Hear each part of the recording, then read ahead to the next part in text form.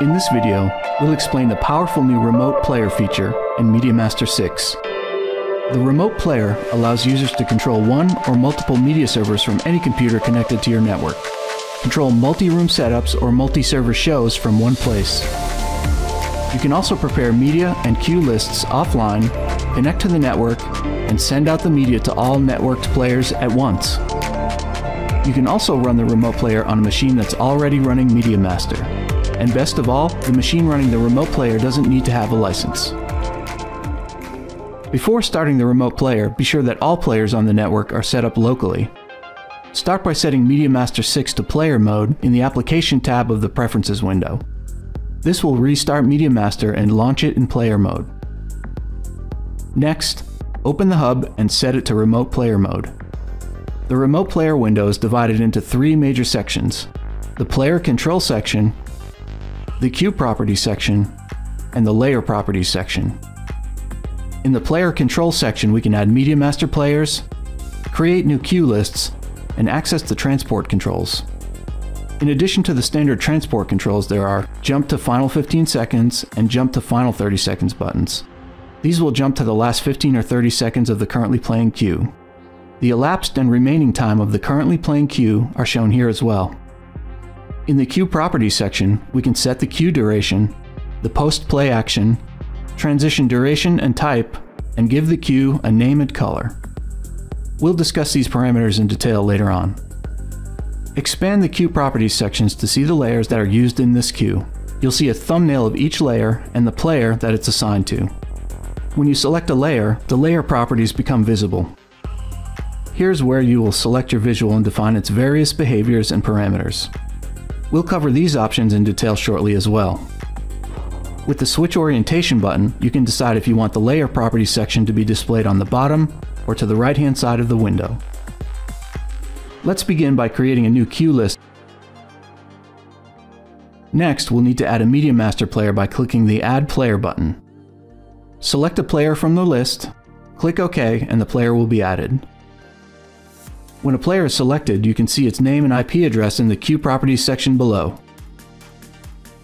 You can also command the player to enter or leave full screen, or to restart the player.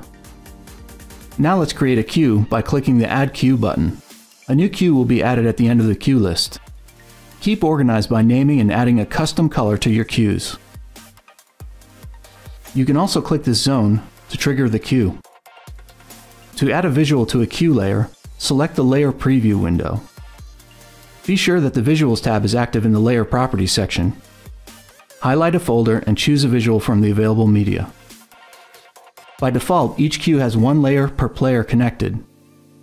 To add additional layers, click the Add Layer button, and remove layers by clicking the Delete Layer button. Connect media to the additional layers by using the same process.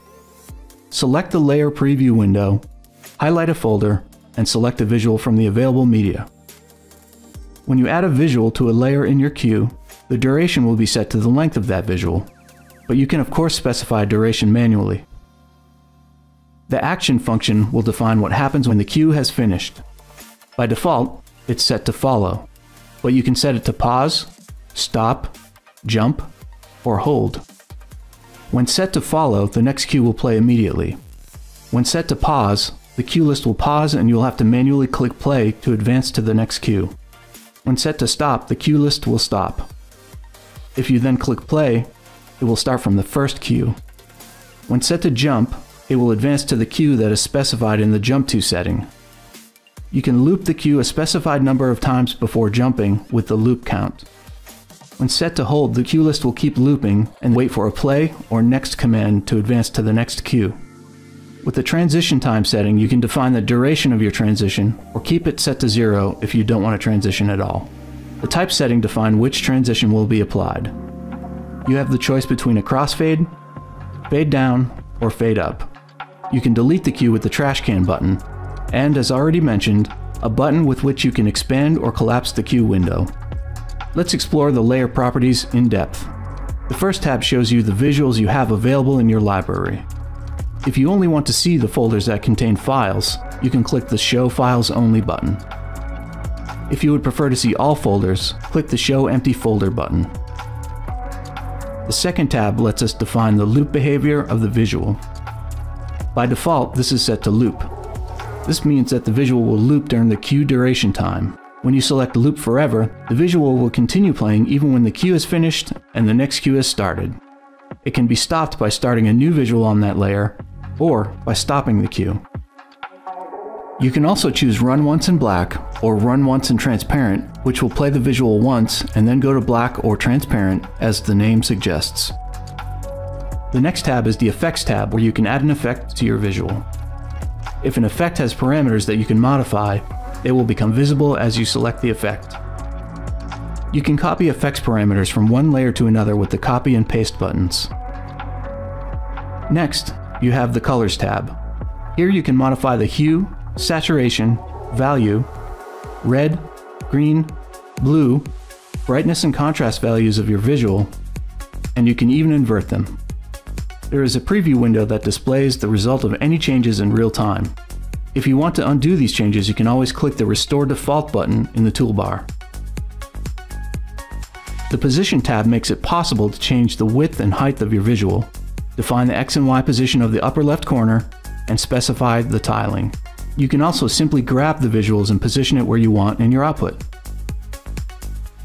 In the Mixing tab, we can select how the visuals are mixed together. By default, the Replace option is selected, but you can also choose Addition.